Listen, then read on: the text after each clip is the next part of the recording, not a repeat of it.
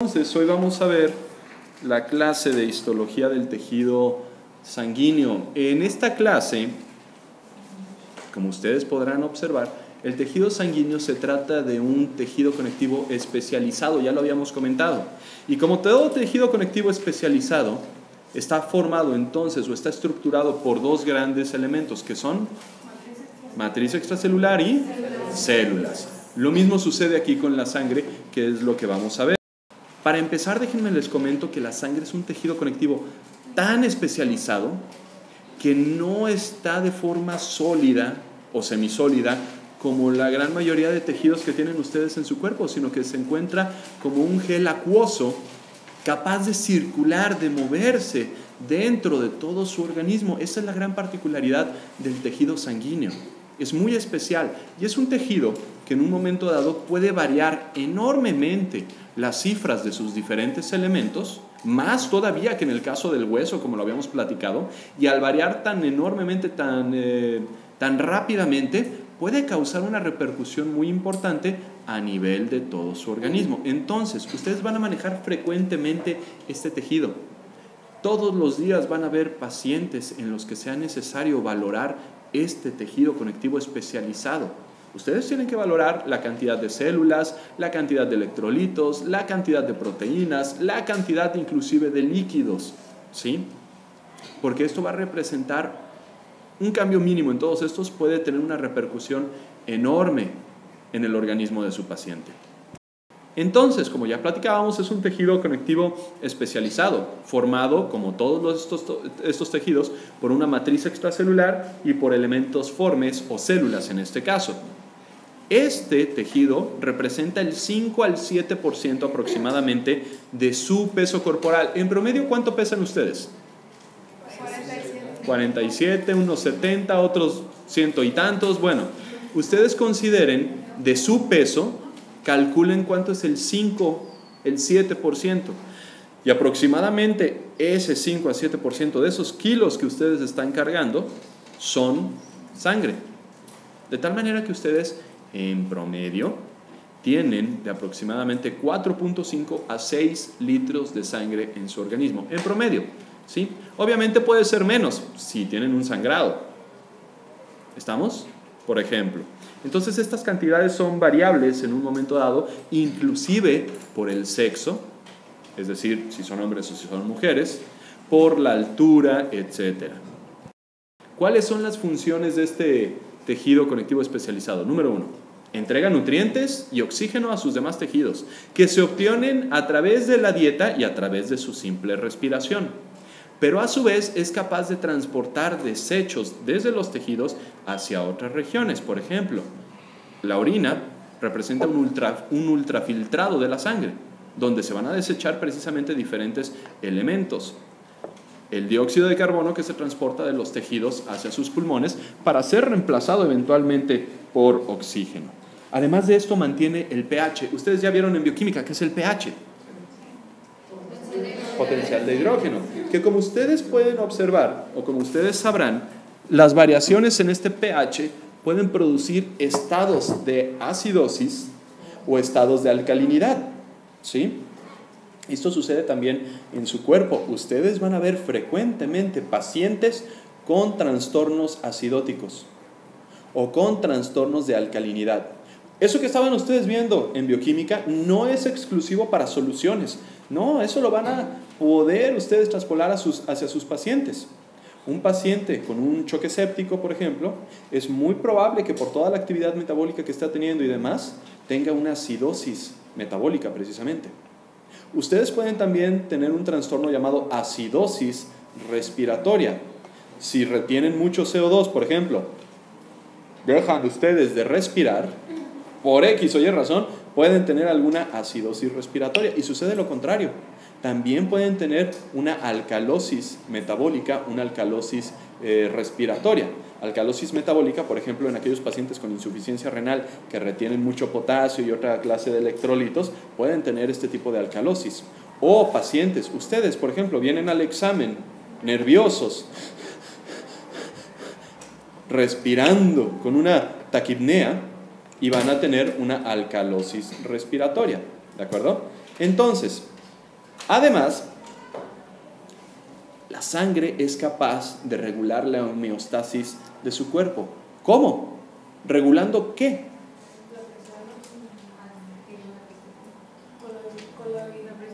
La presión osmótica o coloidosmótica. ¿Qué otra, ¿De qué otra manera?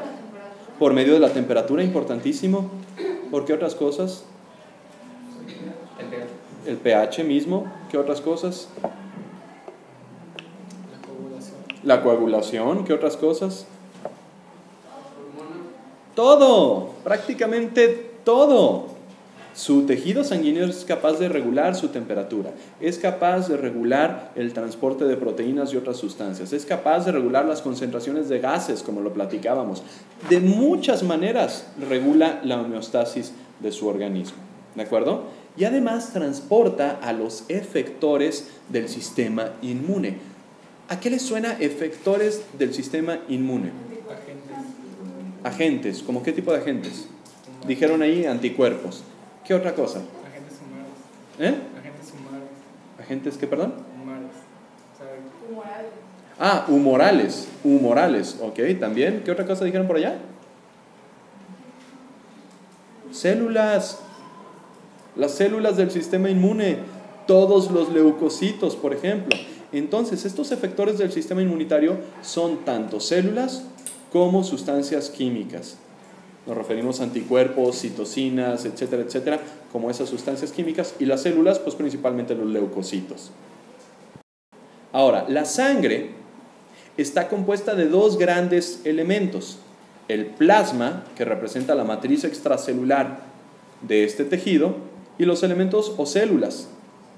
¿De acuerdo? El plasma, como ya platicábamos, está compuesto de agua, de proteínas y de diferentes solutos. Los elementos formes principalmente los dividimos en tres grandes capas. Los hematíes, también llamados eritrocitos, que ustedes conocen hasta el día de hoy como... No es su término más correcto, se puede utilizar, sin embargo su nombre correcto son hematíes o eritrocitos. Los leucocitos, que ustedes conocen hasta el día de hoy como glóbulos blancos. Y las plaquetas, que en sí las plaquetas no son células, son pedacera de células, pero no son células como tal. ¿Estamos? Entonces, comentábamos que en una muestra sin coagular ustedes van a encontrar esta división, esta gran división, la matriz extracelular y las células. Quedamos que la matriz extracelular de este tejido está compuesta por el plasma. Y fíjense que en cualquier cantidad de sangre que ustedes tomen, en cualquiera, sea un mililitro, sea medio, eh, medio litro, el 55% de esa muestra que ustedes obtengan será plasma. El plasma, como ustedes podrán observar aquí, está compuesto principalmente por agua. Arriba del 90% hasta el 92% aproximadamente es agua. El resto de los componentes son otro tipo de solutos como proteínas y otros que ya veremos más adelante. Mientras que los elementos formes o las células están representadas por los eritrocitos y los leucocitos, como platicábamos. A la cantidad o al porcentaje de eritrocitos en una muestra sanguínea es a lo que llamamos hematocrito. Este hematocrito en los hombres es de un 39 a 49%. En las mujeres de un 35 al 45%. ¿De acuerdo? Esto es una buena razón como para considerar que ustedes mujeres puedan tener un hematocrito bajo, lo cual es fácilmente confundible con algún trastorno anémico precisamente, ¿sí? Entre otras cosas, ¿por qué? Por su masa, por su volumen. Ustedes en teoría tienen menos masa, menos volumen que el caso de un hombre, en teoría, ¿sí? Y además, ustedes tienen por ahí un factor muy importante que produce una disminución en esta cantidad de células, como puede ser su periodo menstrual, precisamente, o su ciclo menstrual. ¿De acuerdo? Tengan en cuenta que ustedes pues tienen un sangrado relativo eh, cada cierto tiempo que nosotros los hombres no. Entonces es normal que ustedes, bueno, lo ideal es que nosotros no, eh, ustedes pues obviamente van a tener cierta cantidad menor. No es tan grande, es algo relativo, vaya, ¿sí? Pero es así. Y los leucocitos donde incluimos inclusive ahí a las plaquetas, eh, aunque no forman parte de este grupo celular, representan apenas un 1% de toda esta muestra. Ustedes pueden ver cómo los elementos formes entonces representan un 45% en total. De ese 45%, aproximadamente el 30 y tantos va a, ser representado por los eritrocitos y un 1% aproximadamente por los leucocitos. Tomen en cuenta que estos parámetros que estamos comentando no son fijos, son variables.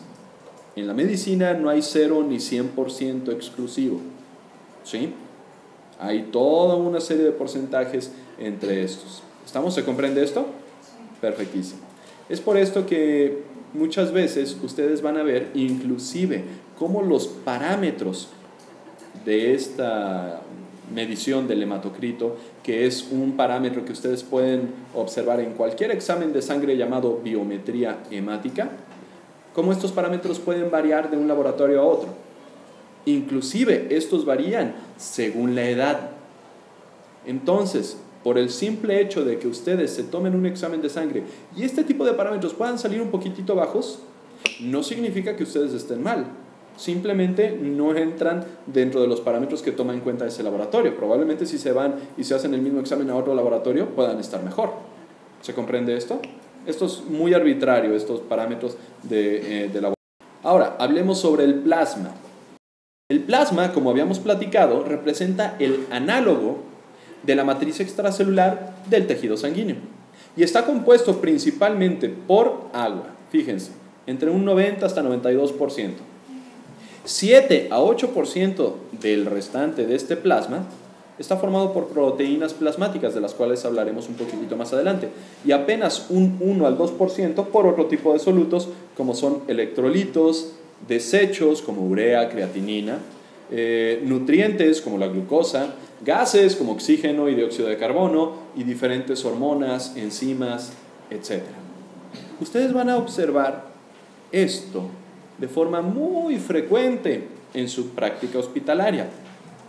Esos tubitos son tubos de muestra de sangre, específicamente para un estudio llamado biometría hemática, que frecuentemente encontrarán abreviado como BH, biometría hemática. ¿sí? Y esta BH de lo que se va a encargar es precisamente de medir la cantidad de células que ustedes tengan, sean eritrocitos, sean leucocitos, sean plaquetas. Por eso se llama biometría. Mide a los elementos vivos de, este, de esta muestra de sangre. Pero para esto, estos tubitos tienen un agente anticoagulante. De tal manera que esa muestra de sangre no se va a coagular y va a permanecer como sangre. Aquí arriba de estos tubitos ustedes podrán observar el líquido no coagulado de la sangre. ¿De acuerdo? Que es propiamente, en este caso, que tiene fibrinógeno, plasma. ¿De acuerdo? Ahora, ustedes van a manejar estos, estas muestras muy frecuentemente. Las proteínas que vamos a encontrar en el plasma son muy abundantes, son muy diversas, pero entre ellas vamos a encontrar a la albúmina. La albúmina, ojo, es la proteína más abundante de su sangre y es producida a nivel hepático encargada de mantener la presión coloidosmótica o presión osmótica. ¿A qué nos referimos con esta presión coloidosmótica? No.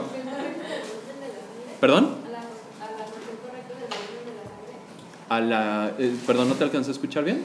A la porción que, bueno, al volumen correcto de la sangre. Regula el volumen de la sangre. Sí, en cierta forma sí.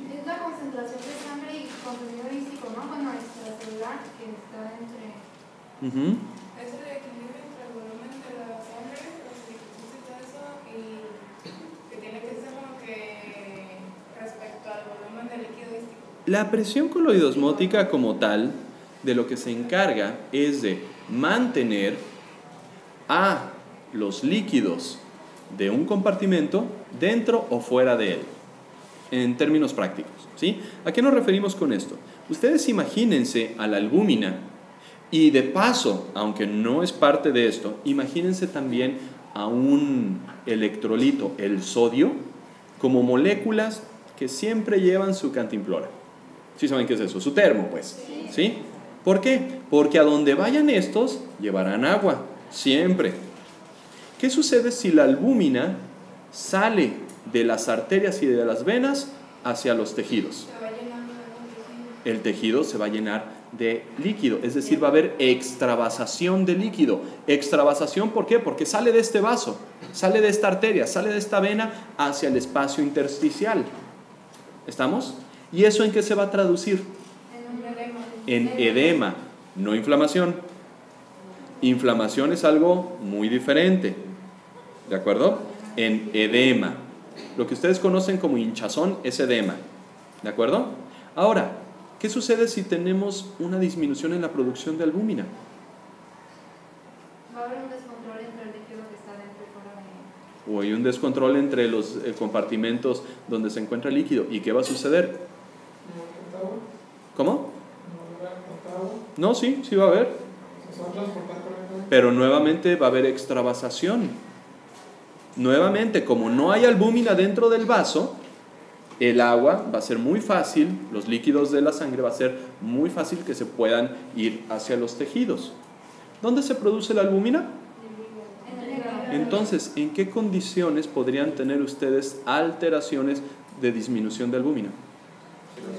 Por ejemplo, en la cirrosis hepática, ejemplo muy típico. Cirrosis hepática, donde no hay producción de albúmina, los pacientes con cirrosis regularmente hacen un edema generalizado. Tienen extravasación de líquidos en todo su cuerpo y esto es muy común sobre todo en la cavidad abdominal. Estos líquidos hay que extraerlos evidentemente. ¿sí? Ahora, ¿en qué otra condición? La albúmina se obtiene gracias a las proteínas de la dieta. ¿En qué otra condición creen ustedes que pudiera existir una disminución en la producción de albúmina? La restricción de la dieta. En la restricción de la dieta. Nos estamos refiriendo a pacientes. Desnutridos, desnutridos, por cualquier causa. Inclusive un paciente que esté en terapia intensiva, que no tenga vía oral, que no tenga alimentación parenteral, ni nada por el estilo, ese paciente va a disminuir sus niveles de albúmina tremendamente, ¿sí? Entonces va a tener un edema generalizado, ¿de acuerdo? Ahora, además de albúmina, vamos a tener otro tipo de proteínas como son las globulinas. Tenemos a grandes rasgos dos tipos de globulinas, inmunes y no inmunes. En las inmunes no nos vamos a meter gran cosa. ¿Por qué? Porque las globulinas inmunes van a representar a las inmunoglobulinas. Son parte de su sistema de defensa contra agentes extraños. Y estas inmunoglobulinas ustedes profundizarán muchísimo en su estructura y su función el próximo semestre que llevan un solo semestre de inmunología. Y las globulinas no inmunes principalmente son alfa y beta globulinas. ¿Alguien que me dé algún ejemplo de alguna globulina no inmune?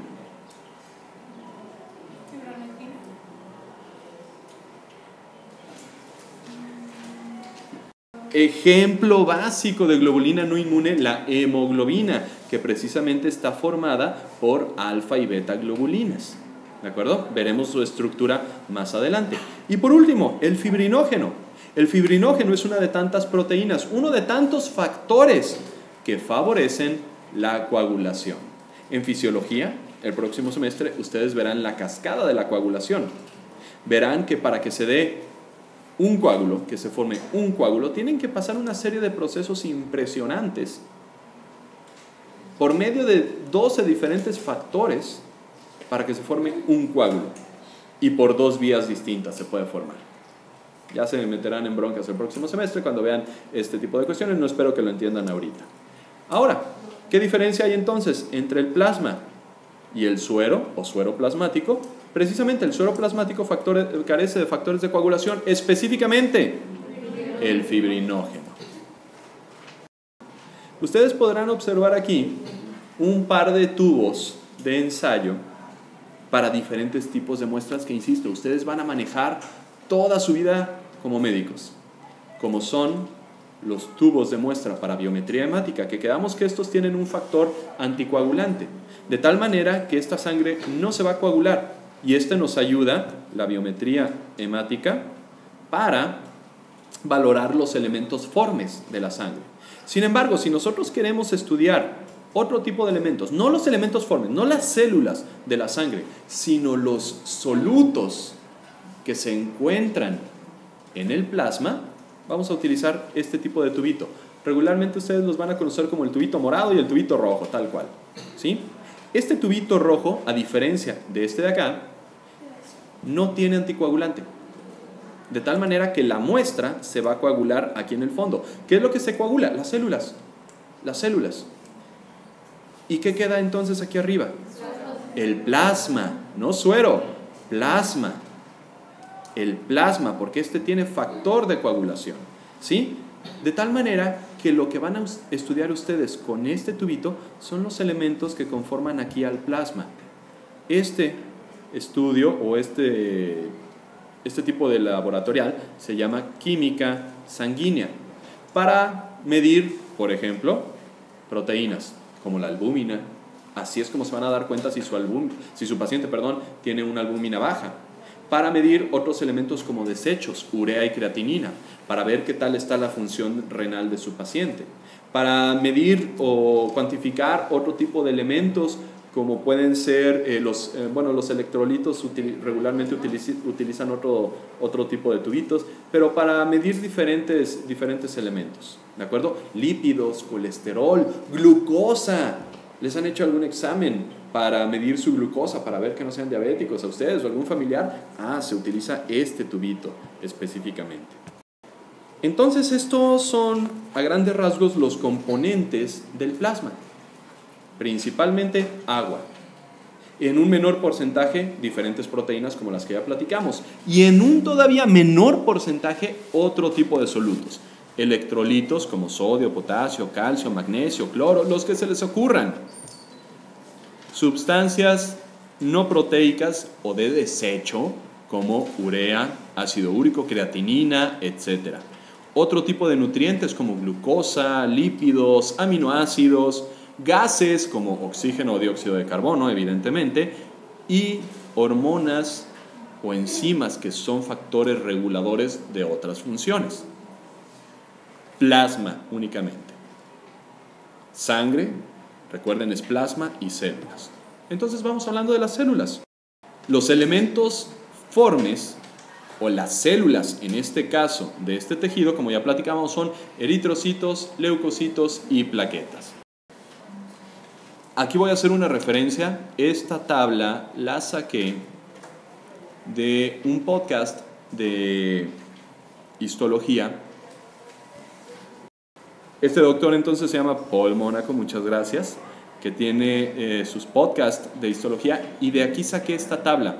Y vamos a ver frecuentemente eh, en esta presentación material de uno de sus podcasts porque me gusta muchísimo cómo lo explica. Y aquí en esta tabla resume las características principales de todas estas células que se encuentran en el tejido sanguíneo. Eritrocitos para empezar. De aquí para abajo estamos hablando de leucocitos y aquí estamos hablando de las plaquetas. Nos explica la cantidad por microlitro aproximadamente. En el caso de los eritrocitos en la mujer, fíjense, va de 3.9 hasta 5.5, ya estamos hablando de por 10, 6 y demás. En el caso del hombre, 4.1 a 6. Esto, pues evidentemente, eh, está en relación con lo que platicábamos de la disminución en la cantidad de estas células en el caso de las mujeres. ¿Cuánto es su vida media o cuánto tiempo duran vivos estos, estas células en la sangre hasta 120 días, aproximadamente 4 meses. Aquí, en esta tabla de los eh, eh, leucocitos, ustedes podrán observar a los neutrófilos, eosinófilos, basófilos, linfocitos y monocitos. Y aquí lo pueden ustedes dividir muy fácilmente por, de aquí para arriba, perdón, cuáles son dentro, cuáles entran dentro del grupo de granulocitos, porque producen gránulos, y cuáles son agranulocitos. Esa es la cantidad la cantidad de cada uno. Ustedes analicen esta tabla, eh, Les voy a subir esta tabla al grupo de Facebook y, e inclusive en los que estén viendo el video van a poder pausar esto para estudiar la tabla conforme así lo requieran. Vamos a ver ahorita las cantidades de cada uno y las características específicas. Esto a grandes rasgos es una tabla igualmente que a mí me gusta mucho presentárselas. ¿Por qué? Porque estos parámetros que ustedes ven aquí son los que principalmente van a valorar, digo de forma principal y muy general, en un estudio llamado biometría hemática que damos. Que por cierto, para ustedes que están en la clase ahorita e igualmente para los que están en video, les vamos a dejar una tarea. Consigan un estudio de biometría hemática. Seguramente a ustedes ya les hicieron uno. Y si no a ustedes, algún familiar ya le hicieron alguna vez en su vida un estudio de biometría hemática. ¿Por qué? Porque nos vamos a, a poner a analizar punto por punto para que ustedes aprendan a interpretar una biometría hemática. ¿sí? Los puntos principales a considerar en este tipo de estudio, para empezar, la línea roja fórmula roja o línea eritrocitaria. ¿A qué nos referimos con esto? Todos los parámetros que vamos a tomar en cuenta de los eritrocitos. Entre ellos tenemos al hematocrito, como habíamos platicado. El porcentaje de células que hay en una muestra de sangre, de eritrocitos específicamente. Como ustedes pueden ver, en el adulto hombre, aproximadamente de 39 a 50%, en la mujer de 35 a 45%. Son, insisto, promedios aproximados. ¿sí? La cantidad, no en porcentaje, sino cantidad como tal de eritrocitos por milímetro cúbico varía en estas proporciones. Y por último, la hemoglobina. No es lo mismo la cantidad o el porcentaje de eritrocitos a la cantidad de la hemoglobina. La hemoglobina es una proteína que viaja dentro de los eritrocitos, pero sus eritrocitos pueden tener poca o mucha hemoglobina. De tal manera que la hemoglobina la medimos en gramos por decilitro prácticamente y va, en el caso de los hombres, desde 13 hasta 18 gramos por decilitro, en las mujeres de 12 a 16. Díganme un ejemplo, un ejemplo donde pueden encontrar los eritrocitos o el hematócrito o la hemoglobina disminuida. Sin duda alguna, anemia. Como les platicaba, actualmente yo considero que es bastante raro ver a un paciente con anemia por simple desnutrición.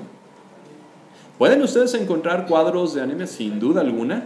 Por ejemplo, anemia, y van a ver ustedes eventualmente que anemia hay muchísimos tipos.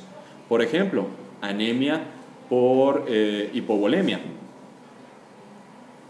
En un sangrado, un paciente que tiene algún accidente o algo por el estilo y tiene un sangrado eh, mayor.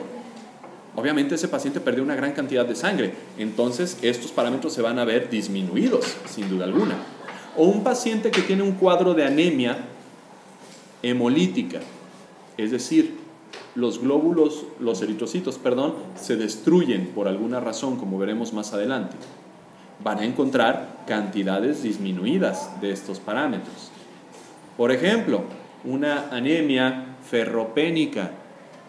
Esa es regularmente la anemia que se considera por desnutrición, porque no comen suficiente hierro. ¿Y dónde lo encuentran?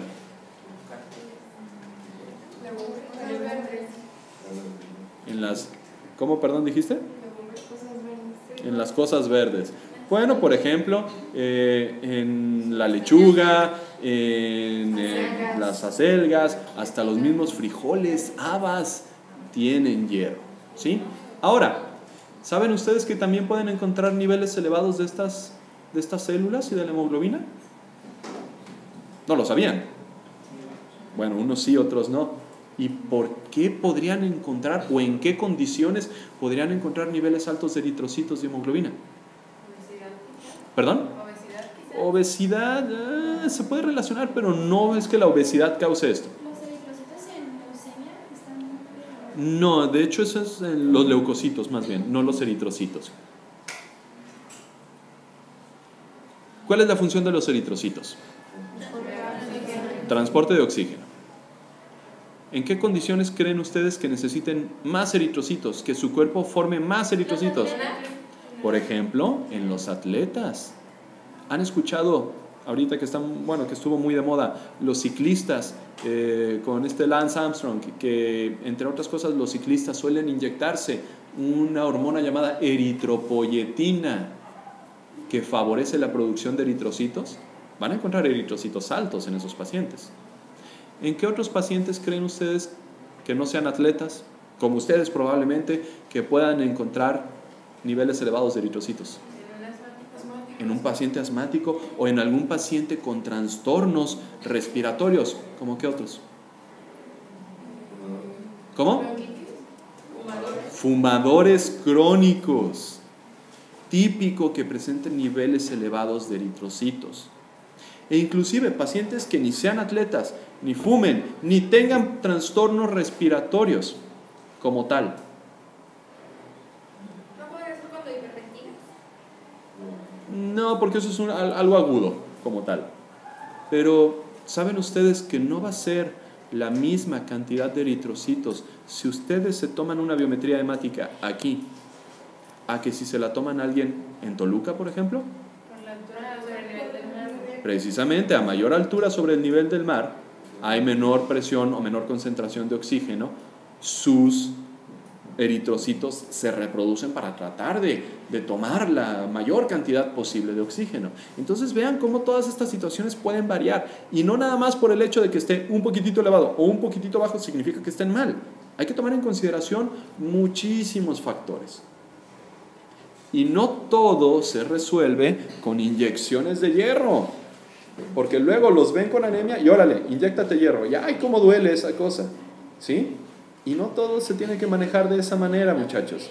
Hay que tomar en cuenta muchísimas consideraciones. La medicina no son recetas de cocina. Hay que pensar todas las variables que podemos tener en un paciente. Ahora, white blood cells, leucocitos, glóbulos blancos, como los conocen ustedes. Estos, ustedes van a encontrar en este estudio, en esta biometría hemática, todo el diferencial de los leucocitos. ¿Y a qué me refiero con diferencial? Leucocitos en general, estamos agrupando a todos, sean o no sean granulocitos. Aquí la cantidad total de estos leucocitos regularmente puede variar entre estos rangos. Estos, 4.500 a 11.000 por milímetro cúbico. Sin embargo, en este estudio que ustedes van a observar y que vamos a analizar más adelante, van a ver el diferencial de leucocitos, cuánto porcentaje es de neutrófilos, cuánto es de eosinófilos, cuánto es de basófilos, etcétera, etcétera. Y para esto les sugiero que vean también la tabla que les estaba comentando, para que más o menos ubiquen el porcentaje de estas células dentro de los leucocitos. Estos pueden aumentar exponencialmente su cantidad. ¿En qué casos? ¿Perdón?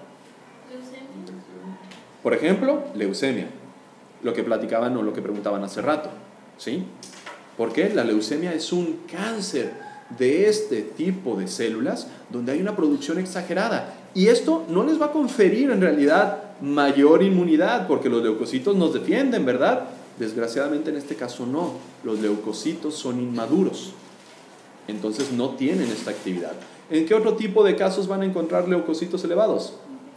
Infecciones infecciones. En las infecciones agudas o crónicas, dependiendo de qué tipo de infección, pueden encontrar niveles elevados de neutrófilos o inclusive de otro tipo de células llamadas linfocitos. Aquí les ponen esta tabla que van desde niveles de 20 a 40 mil. En realidad no tiene que ser tan elevado. Con que sobrepasen de 10, 11 mil, ya podríamos considerar que un paciente tiene una infección aguda. ¿De acuerdo? Mencionaban enfermedades autoinmunes. En las enfermedades autoinmunes no necesariamente tienen que estar elevados. En las enfermedades autoinmunes, sobre todo, lo que va a suceder es que están confundidos. Y las, los químicos que producen estas células, citocinas, inmunoglobulinas y demás, van a atacar a tu cuerpo, pero no necesariamente tienen que estar elevados. Y las plaquetas, por último, son, como comentábamos, no son células, son pedazos de otras células que van a producir coágulos mientras estén en estos eh, parámetros. A todos sus, bueno, ¿a quién han operado aquí? Si no los han operado a ustedes y han operado a algún familiar, les tuvieron que haber pedido este examen.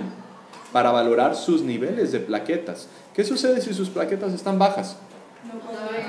Bye. Se suspende la cirugía.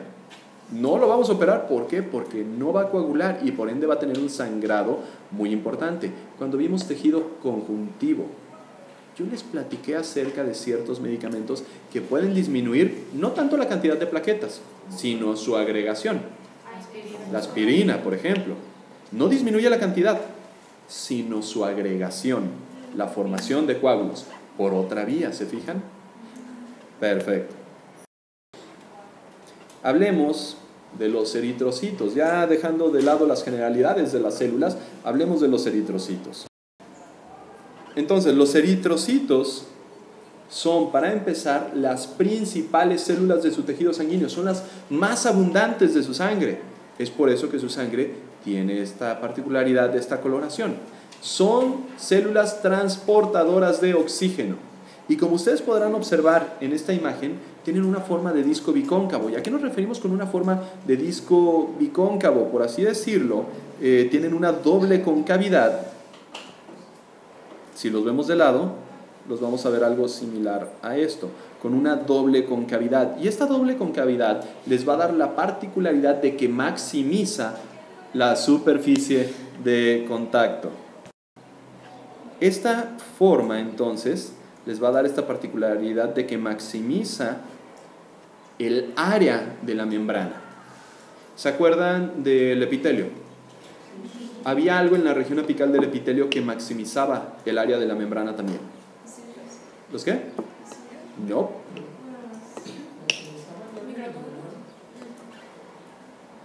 Las microvellosidades, muy bien. Pues hagan de cuenta que esto funciona de forma similar. Aunque no hay microvellosidades aquí, esta simple curvatura que adoptan a este nivel estos eritrocitos maximizan su área de superficie, ¿de acuerdo? El tamaño de los eritrocitos pues va desde 7.8 por 2.6 por 0.8 micrómetros. Su estructura o la estructura de su membrana los hace altamente deformables y elásticos. ¿Por qué?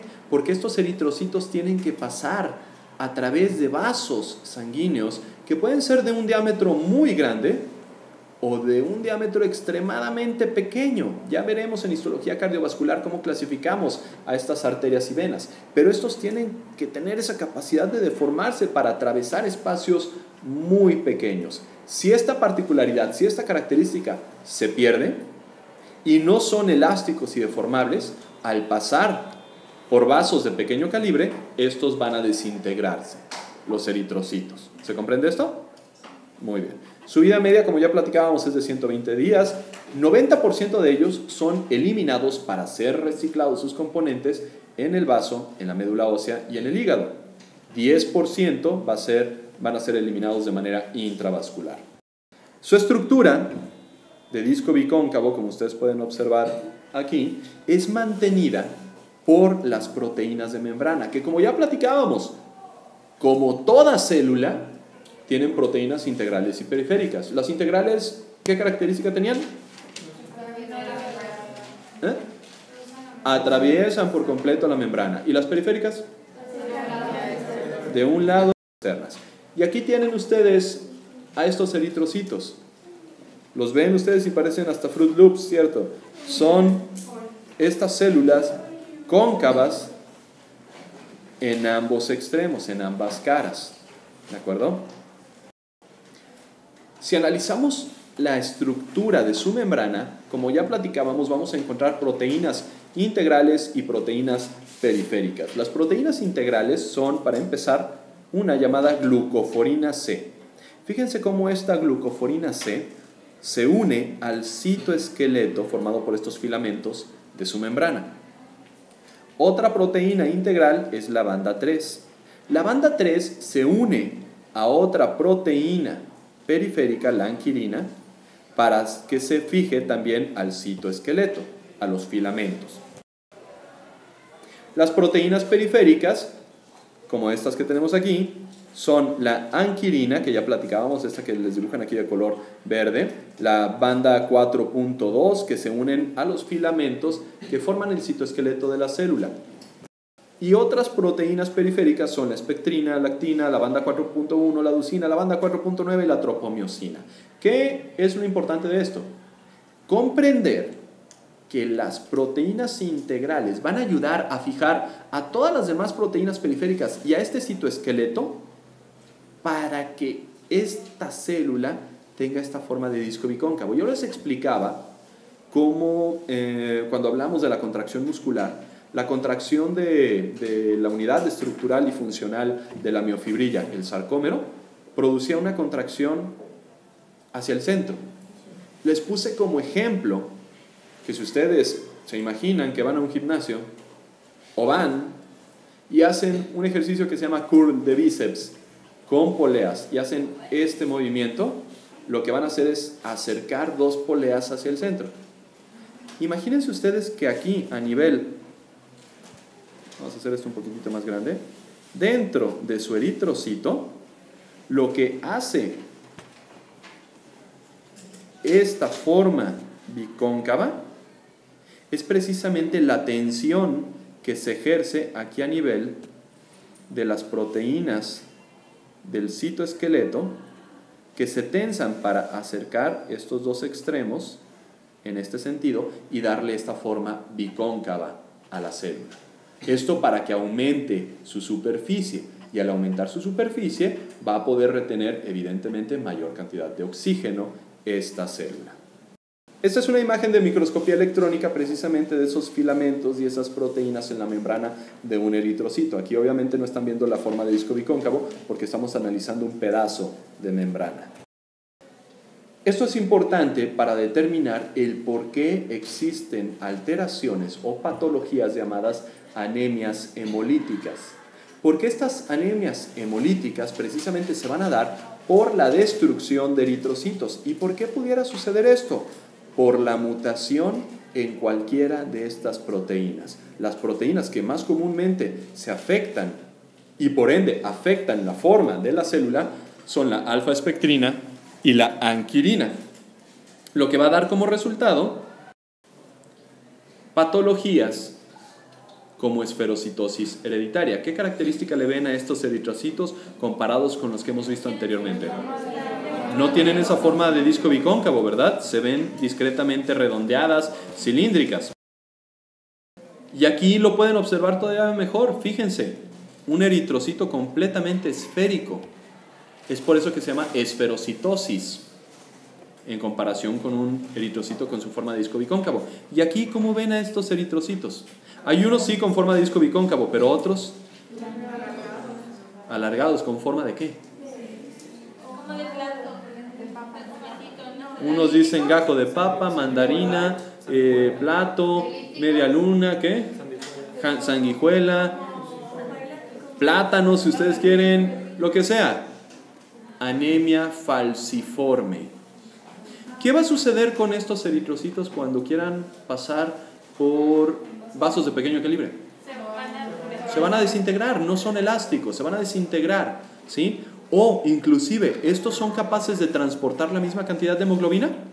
No. Ustedes podrían contabilizar la misma cantidad de eritrocitos.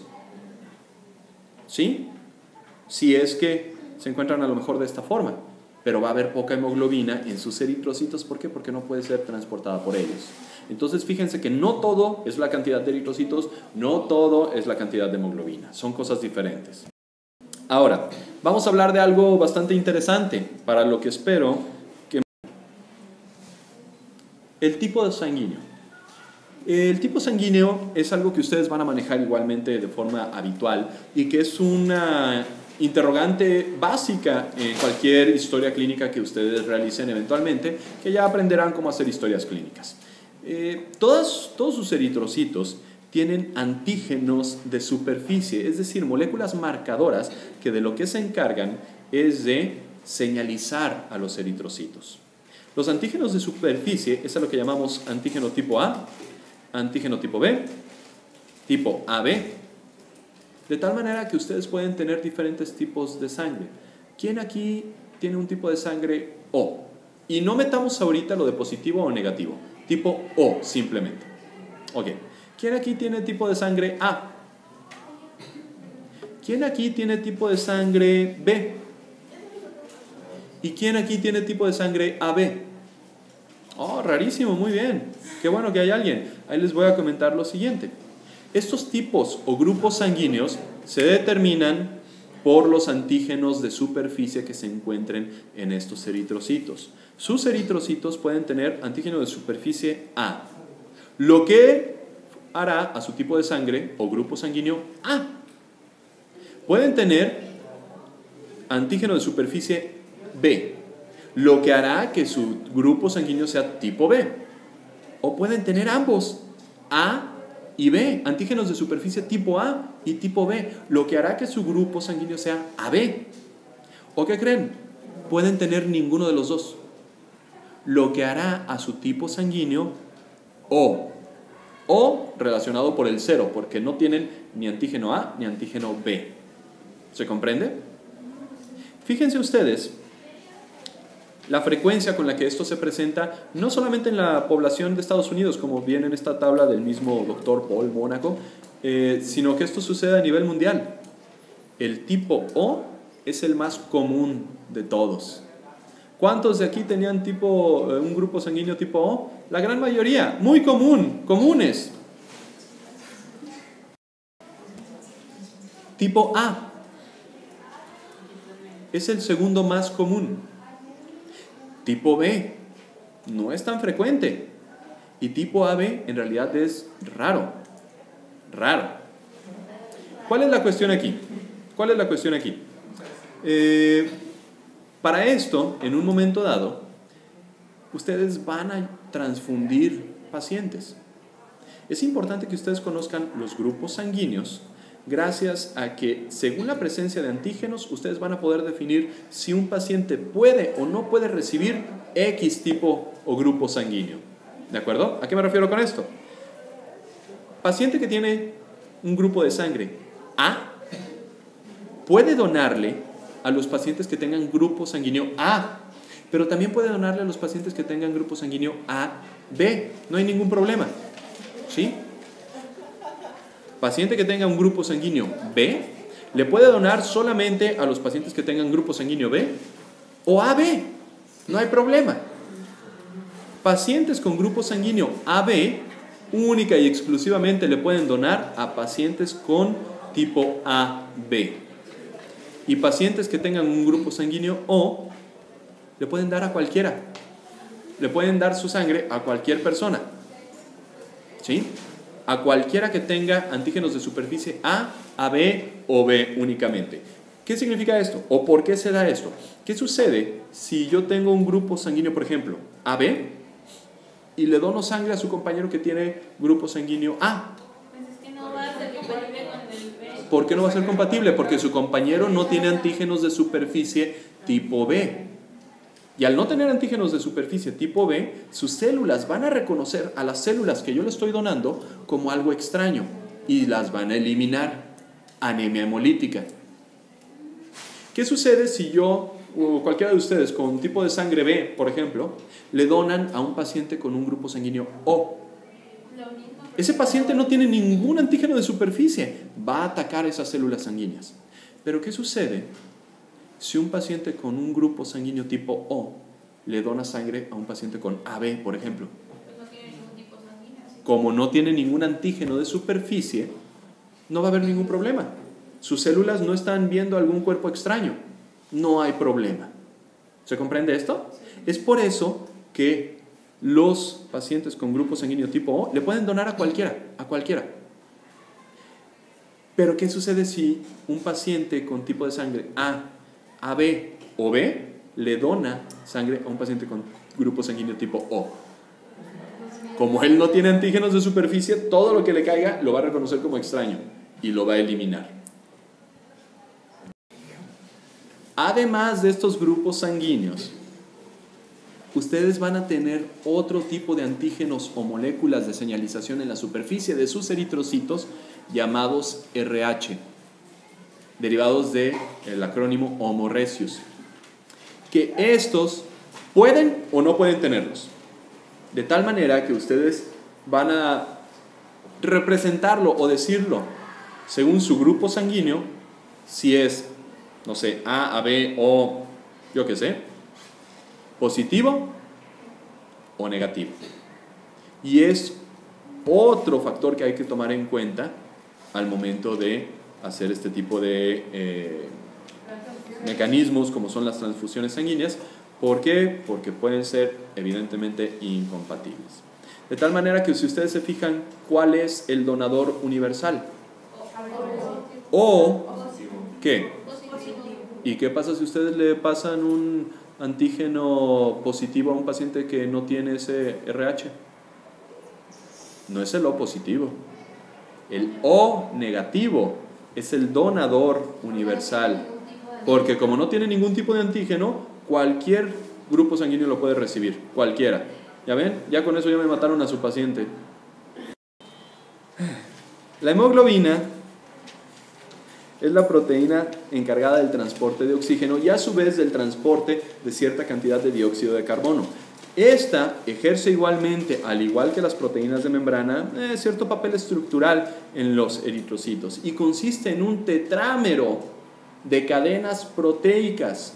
Tetrámero, recuerden, dímero 2, tetrámero, pues evidentemente 4. Ustedes van a tener que una molécula de hemoglobina está formada por cuatro proteínas de alfa y beta globulinas, las globulinas no inmunes que comentábamos en diapositivas pasadas, que a estas se les fija hierro para que ahí se fije el oxígeno. ¿Cómo se va a formar la hemoglobina? Es algo que debieron de haber visto o van a ver en bioquímica, no pretendo que lo entiendan todavía al 100% si es que no lo han visto. Ahora vamos con los leucocitos. Los leucocitos es a lo que conocen como glóbulos blancos o son las células blancas de su tejido sanguíneo, que tienen una función inmunitaria y algunas de ellas tienen la capacidad de fagocitar.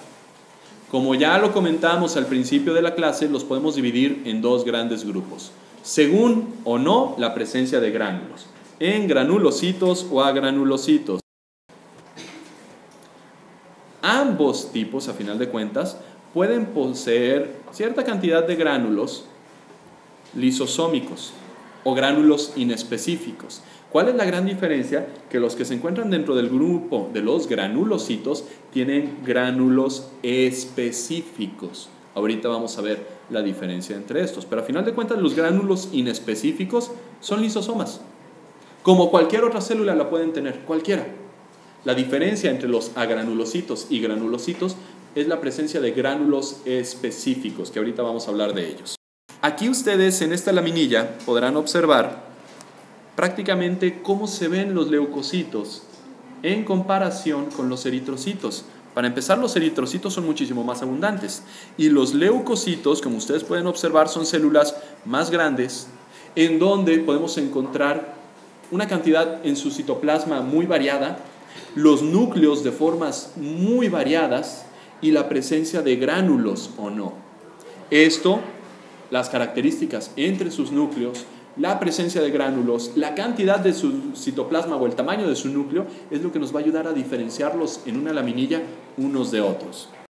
Los granulocitos, como ya comentaban, son los basófilos, neutrófilos y eosinófilos. Mientras que los agranulocitos son linfocitos y monocitos. Recuerden que todos tienen gránulos inespecíficos, es decir, lisosómicos, lisosomas pero los granulocitos tienen gránulos muy específicos para actuar contra agentes extraños. Para empezar, hablemos de los neutrófilos. Los neutrófilos son los leucocitos más abundantes de todos representan un 60 al 70% de toda su cantidad de leucocitos. Habíamos platicado que la cantidad normal de leucocitos va de 4.5 eh, de 4500 a 11000 por milímetro cúbico. Pues el 60-70% de estos serán neutrófilos. Tienen un tamaño de 10 a 12 micrómetros, carecen de una tinción específica, por eso se llaman neutrófilos, porque tienen una tinción, como ustedes pueden observar en su citoplasma, neutra, es decir, completamente blanca, por así decirlo poseen, y esta es una característica típica, un núcleo multilobulado y que puede presentar diferentes formas. Fíjense, todos los lóbulos que pueden presentar estos neutrófilos. Por eso a estos neutrófilos se les eh, clasifica también dentro de un grupo llamado polimorfonucleares. Sus núcleos tienen formas muy diversas. Representan la primera línea de defensa de sus leucocitos, de su sistema inmune. Son los las primeras células que se dirigen a atacar algún antígeno. Y tienen tres tipos de gránulos, específicos, azurofílicos o azurófilos y terciarios. Los gránulos específicos contienen colagenasa tipo 4 y además péptidos antimicrobianos. ¿De qué se van a encargar estos? De atacar precisamente fibras de colágeno en los tejidos. Entonces estos tienen cierta toxicidad hacia los tejidos y péptidos antimicrobianos para atacar precisamente otros microorganismos gránulos azurófilos o azurofílicos que son de lisosomas, perdón, mieloperoxidasa, defensinas y gránulos terciarios que son metaloproteinasas. Ustedes han visto inclusive el resultado de la liberación de estos gránulos y del ataque de bacterias por parte de los neutrófilos. Lo han visto más de alguna vez, porque más de alguna vez ustedes han tenido algún proceso infeccioso donde generen pus. Que la pus precisamente es una sustancia acuosa gelatinosa producto de la licuefacción del tejido por medio de estos gránulos específicos y de las bacterias, además de la muerte de estos neutrófilos. ¿De acuerdo? Entonces podemos dar a entender que precisamente estos neutrófilos van a originar este tipo de sustancia, la pus en reacciones o en infecciones agudas sobre todo. Son células móviles y como ya les platicaba, representan la primera línea de defensa de su sistema inmune. Tienen la capacidad de fagocitar microorganismos y como ya les comentaba, forman la pus. Eh, estas a su vez funcionan como células presentadoras de antígeno. Ya lo habíamos platicado. Estas células presentadoras de antígeno fagocitan algún antimicrobiano, algún microbiano, perdón, algún microorganismo, lo degeneran y presentan parte de, los, de las moléculas de este antígeno en su membrana a otras células, para que otras células sean capaces de actuar contra los demás antígenos que produjeron alguna lesión. ¿Se comprende esto? ¿Sí? Funcionan como células presentadoras de antígeno. Y pues bueno, ya veremos que se encargan de presentar eh, este tipo de antígenos por medio del complejo de histocompatibilidad tipo 2 Todavía no lo vemos, no espero que lo comprendan, lo veremos en sistema linfático. Y aquí lo tenemos. Así vemos a un neutrófilo. Fíjense sus características, su tinción, el de su citoplasma, una tinción neutra, por eso se llaman neutrófilos. No es tan acidófila como en el caso, por ejemplo, de los eritrocitos, tal vez. Fíjense en la forma de su núcleo, multilobulado y con múltiples formas, típico de los neutrófilos. Estos tienen la capacidad de viajar del torrente sanguíneo hacia los tejidos conectivos, que es donde van a llevar su acción, donde van a liberar sus gránulos, por medio de diferentes eh, mecanismos químicos que ahorita no voy a profundizar mucho, esto lo verán en inmunología y en patología. Y como les comentaba, son capaces de fagocitar a estos microorganismos para presentar algunos de sus eh, componentes en la membrana, en su membrana, y presentarlos a otro tipo de células efectoras. Los eosinófilos se llaman precisamente eosinófilos porque tienen una tinción muy eosinófila, justamente. Tienen un núcleo bilobulado, dos lóbulos, y representan del 2 al 4% apenas de los leucocitos. Estos al igual que los neutrófilos, están dentro del grupo de los granulocitos porque tienen gránulos específicos y gránulos azurófilos que contienen lisosimas, como platicábamos. Estos gránulos se van a liberar en reacciones alérgicas, reacciones parasitarias e inflamación crónica. Fíjense entonces aquí en la tinción de estos, vean la cantidad de gránulos que estos tienen a este nivel. ¿Los alcanzan a ver? y sus núcleos bilobulados, diferente al núcleo del neutrófilo que puede ser multilobulado y con formas muy variadas, diferente también su tinción. Estos los van a encontrar ustedes elevados en reacciones alérgicas. Por ejemplo, eh, nosotros como torrinos vemos frecuentemente reacciones alérgicas a nivel de las vías respiratorias. Si yo tomo un barrido de su moco, de su nariz, por ejemplo, y ustedes tienen alguna reacción alérgica, y lo analizamos al microscopio, vamos a encontrar eosinófilos precisamente. Y eso es una, parte, una forma en que a nosotros nos ayuda a diagnosticar esta reacción alérgica. ¿De acuerdo? Aquí ven a la célula con su gran cantidad de gránulos, su núcleo bilobulado. Aquí ustedes podrán observar inclusive la diferencia entre un neutrófilo y un eosinófilo. Los basófilos tienen estos, a diferencia del eosinófilo, una tinción muy basófila, es decir, muy, muy oscura, muy azul. ¿sí? Son los leucocitos menos abundantes de todos, entre 1.5 y un 1%.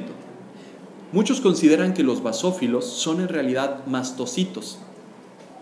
¿De acuerdo? Son análogos a los mastocitos, solamente que estos se encuentran en el eh, dentro de los vasos, dentro de las arterias y venas como tal. Los mastocitos se encuentran en el tejido conectivo. Recuerden de las células errantes y las células eh, residentes del tejido conectivo. Estos los vamos a encontrar en reacciones alérgicas atópicas, ya que liberan histamina, que la histamina es un factor alérgico que se encarga de eh, la apertura o la dilatación de los vasos sanguíneos para que los neutrófilos puedan salir del torrente sanguíneo hacia el tejido conectivo y para que se dé la liberación de líquidos. Insistimos con las alergias. ¿Qué tipo de medicamentos toman ustedes cuando tienen una alergia? Antihistamínicos precisamente, para evitar la liberación de histamina. Prostaglandinas, que ya platicamos también en el tejido conectivo, y los tromboxanos. Y vean, Analicen aquí, compárenlo con un neutrófilo. Nuevamente el neutrófilo multilobulado y aquí tienen ustedes al basófilo. El basófilo, una tinción como ustedes pueden observar, muy basófila y todos los gránulos que contiene. Los gránulos del el neutrófilo son los que le confieren esta, esta tinción neutra precisamente. Y aquí tenemos otra célula, otro leucocito diferente. En este caso es un linfocito, que ya veremos. Entonces veamos a los linfocitos. Los linfocitos son las principales células del sistema linfático e inmunitario en general, ya que, como veremos, tendremos una sola clase de sistema linfático en la que nos llevamos dos o tres clases aproximadamente, son, tienen acciones muy diversas, muy diversas. Estos pueden vivir inclusive hasta años, estas células, ¿sí? Y representan el 30% del conteo leucocitario. ¿Cuántos tipos de linfocitos tenemos? También muy variados, linfocitos T, B, natural killer, etcétera, etcétera. Y ya veremos una clase específica de ellos. Aquí lo importante que podríamos resaltar es la tinción basófila de su núcleo y su núcleo que es muy abundante en relación al citoplasma. Nuevamente, aquí podemos observar un linfocito y aquí a otro. ¿Cómo podemos distinguir un linfocito B de un linfocito T? Sobre todo por sus marcadores de membrana, que ya veremos en la clase de histología del sistema linfático. Los monocitos son las células más grandes de su tejido sanguíneo. De todo el tejido sanguíneo estoy hablando. Son las células de mayor tamaño, ¿sí? Son precursores de otro tipo de células del sistema fagocítico mononuclear, los macrófagos, los osteoclastos, etc. Que recuerden ustedes que los macrófagos pueden tener nombres diferentes según el tejido donde se encuentren. Células de Kupfer, de Langerhans, de polvo, etc. Y pues bueno, es una de tantas células presentadoras de antígeno por medio del complejo mayor de histocompatibilidad tipo 2. Insisto, eso ya lo veremos más adelante. Fíjense que es muy fácil identificarla simplemente por su tamaño. Vean un monocito comparado con un neutrófilo. Es de mayor tamaño precisamente este monocito. Otra característica que pueden tener estos es su núcleo en forma de riñón, en forma de haba. Esta tabla igualmente les va a ayudar a poder distinguir cuándo se incrementan los neutrófilos, cuándo los linfocitos, cuándo los eosinófilos y cuándo disminuye su cantidad. Estos incrementan los neutrófilos en infecciones agudas bacterianas, por ejemplo, en leucemias o en periodos de estrés, y nos estamos refiriendo a estrés metabólico sobre todo. Disminuyen cuando hay alteraciones a nivel de la, membrana, de la médula ósea, perdón, etc. Los linfocitos sobre todo los vamos a encontrar en infecciones no agudas, sino crónicas además de infecciones virales. La mononucleosis, a final de cuentas, es un tipo de infección viral y en leucemias linfocíticas. Y los eosinófilos, como ya platicábamos, en alergias o infecciones parasitarias. Ahí tenemos nuevamente, ustedes podrán observar entonces a un monocito, polimorfos nucleares o neutrófilos. Aquí tenemos a un eosinófilo, basófilo y linfocito por las características de sus núcleos, de su citoplasma, de sus gránulos, su tamaño, etc. Por último, veamos las plaquetas. Las plaquetas, también llamadas trombocitos, eh, aquí les ponemos que son células pequeñas, son en realidad muy, muy pequeñas, si se fijan ustedes, hasta más pequeñas que los eritrocitos, pero en realidad se pueden considerar como fragmentos de células que tienen una vida media de 10 días aproximadamente. Su estructura se divide en cuatro zonas diferentes, como ustedes podrán observar aquí, zona periférica, zona estructural, zona de organelos y zona membranosa. Estos, ¿qué utilidad o qué función tienen? El mantenimiento de la hemostasia mediante la formación de coágulos. Provienen de una célula de gran tamaño llamada megacariocito, que el megacariocito se fragmenta, se desprende de su citoplasma y se fragmenta para formar a estos trombocitos o plaquetas. Aquí tenemos, por ejemplo, un megacariocito. Y si lo vemos de esta manera, aquí vamos a encontrar estos fragmentos de megacariocitos, que estas son las plaquetas. Compárenlas en tamaño o en relación con un eritrocito de muchísimo menor tamaño y ahora comparen su tamaño en relación con un neutrófilo, pues evidentemente todavía muchísimo de menor tamaño. Médula ósea.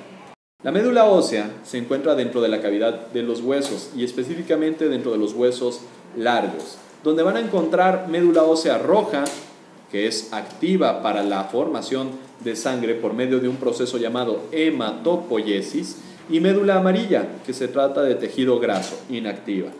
La médula ósea consiste de cordones de células hematopoyéticas y los vasos, llamados sinusoides, van a rodear a estos cordones celulares.